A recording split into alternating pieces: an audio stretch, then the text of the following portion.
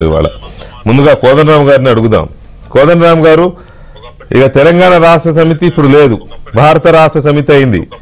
ముందుగా మీకు నమస్కారం కోదండరామ్ గారు. నమస్కారం.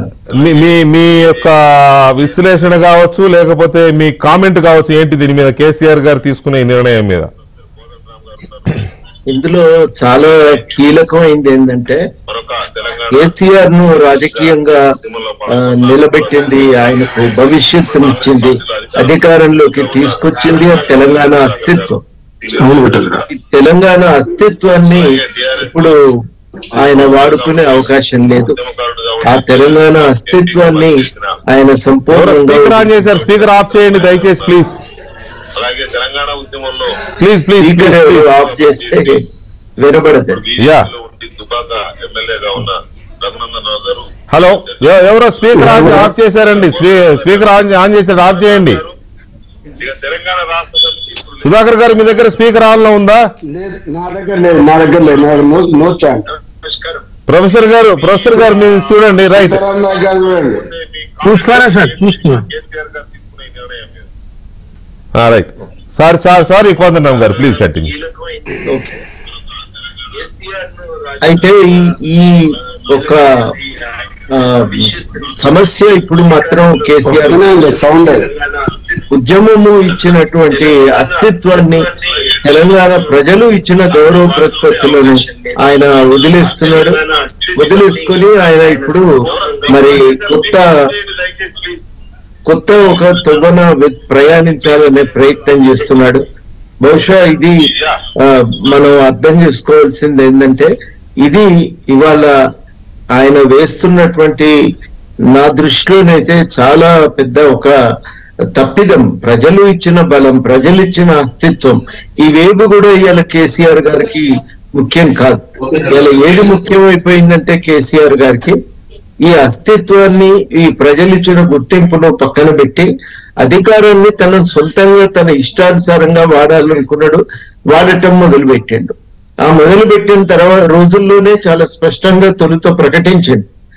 ఇక మాది ఫత్తు రాజకీయ పార్టీ ఉద్యమ పార్టీ కాదని. ఆ ప్రకటనతోనే ఆయన ఉద్యమ రాజకీయాలతోని ప్రజలతో అప్పటి వరకు తనకు ఏర్పడిన సంబంధాన్ని తెంపుకున్నాడు. ఇక అది తెంపుకున్న తర్వాత ఇవాళ తనకు వచ్చిన ఆ రాజకీయ అస్తిత్వాన్ని చెరిపేసుకోవటం అనేది పెద్ద కష్టమైన పని ఏం కాదు. మాకింకా ఈ ఉద్యమము ఈ అస్తిత్వం ఇవి అవసరం లేదు. ఓ పైసలతోనో ఇంకో దాంతోనో ఇవాళ మనం గెలవవచ్చు అనే ఒక ఆలోచనతోని ఇవాళ సంపూర్ణంగా ఒక కీలకమైనటువంటి ఒక సిద్ధాంతాన్ని ఒక అస్తిత్వాన్ని తెలంగాణ రాజకీయాల్లో ఇవాళ కీలక మలుపు ప్రత్యేక రాష్ట్ర వాదాన్ని ఇవాళ ఆయన వదులుకుంటున్నాడు అనేది గ్రహించాలి ఇది వద్దుకు ఇది అర్థం చేసుకుంటే తప్ప ఇది అర్థం చేసుకోవటం కూడా ఇవాళ మనకు చాలా చాలా అవసరం. అంటే ఇవాళ ఏంటంటే కేసీఆర్ ఒక కొత్త తోవలో వెళ్ళిపోతున్నాడు. ఇంతవరకు ఆయన తెలంగాణ వాదం నుంచి పుట్టినోడు.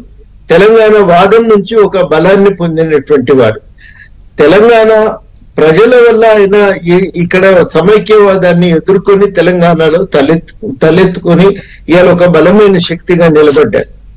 ఇక అవన్నీ వదులుకొని తెలంగాణ ప్రజలతో ఉన్న సంబంధాన్ని కూడా తెగదెంపులు చేసుకున్నాక ఆ అస్తిత్వాన్ని కూడా వదులుకున్నాక ఇది రాజకీయంగా నా దృష్టిలోనైతే ఇది ఒక ఆత్మహత్య సదృశ్యమైనటువంటి చర్య.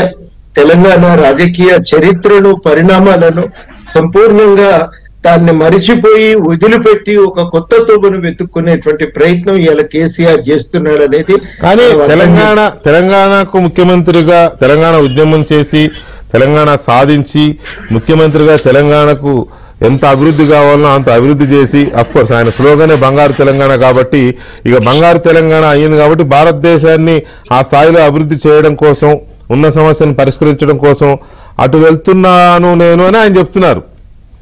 దాన్ని మనం స్వాగతించలేమా? తెలంగాణ అభివృద్ధి చెందింది కదా దేశం మొత్తం తెలంగాణ లాగా ఉండాలని అనుకోలేమా? ఇప్పుడు ద్రవిడ రాజకీయాలు మీరు చూడండి. ఇప్పుడు రామస్వామి పెరియార్ గారు జీవం పోస్తే అక్కడి ప్రజలు దాన్ని ఒక ఉద్యమంగా పెంపొందిస్తే ఇవాళకి కూడా తమిళనాడు రాజకీయాలకి అది ఒక ప్రాతిపదికగా మిగిలింది. ఆ ప్రాతిపదికను సంపూర్ణంగా ఏదైనా ద్రవిడ పార్టీలు వదులుకుంటాయి అనంటే అస్సలు వదిలిపెట్టవు. ఎందుకు వదిలిపెట్టవు అంటే ఆ ప్రాతిపదికనే వాళ్ళు తమిళనాడు రాజకీయాల్లో నిలబడగలుగుతారు ఆ రాజ ఆ ప్రాతిపదికను తమిళనాడు రాజకీయాల్లో కొట్లాడగలుగుతారు మీకున్న బలం ఏంటిది? తెలంగాణ వాదం తెలంగాణ అస్తిత్వం. ఆ దాన్ని మీకున్న ఆ పేగుబంధాన్ని తెప్పుకున్న తర్వాత రేపు మీరు ఇవ్వగలిగేటువంటి కొత్త వాదన ఏంటిది? ఒక ఒక ఒక అంశం వరకు మీరు చెప్పిన దాంట్లో కన్విన్సింగ్గా కన్విన్స్ అవ్వగలిగిన అంశం ఏంటంటే ఇంటి పేరు ఎలాంటిదో కేసీఆర్ గారికి తెలంగాణ అలాంటిది. అలాంటి ఇంటి పేరునే మార్చేసే మార్చేసుకున్నారు మరి ఎంతవరకు స్టెబిలైజ్ అవుతారు అనేది చూడాలి. ఒక్క నిమిషం కోదనాం సార్.